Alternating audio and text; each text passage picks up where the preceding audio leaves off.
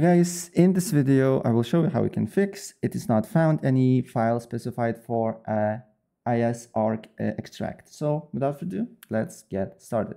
First of all, what is just to do here is to open up command prompt or cmd and make sure to open as admin, run as administrator. And here you need to write one command. So cfc forward uh, space forward slash scan now, scan now without the space. And then you need to verify basically the computer will verify your uh, files. And uh, if the if some files is corrupted it will be replaced right? And after verification process is done look if the problem persists or not. If the problem persists then what is just to do here is to open up browser. Then you just need to go to dllme.com and look for that specific file. And then you just need to download it. And then as you can see here it should be a only one uh, version then you just need to uh, download it right?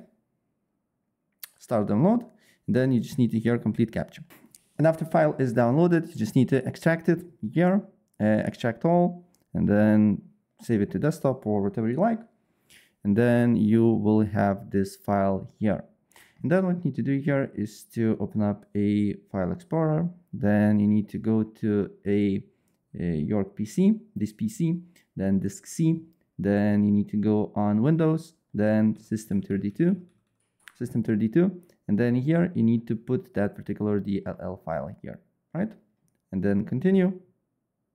And that's basically it, what you need to do here. Your error should be fixed. So yeah, if I help you out, please press like button and then comment if I helped you or not. Take care. Bye.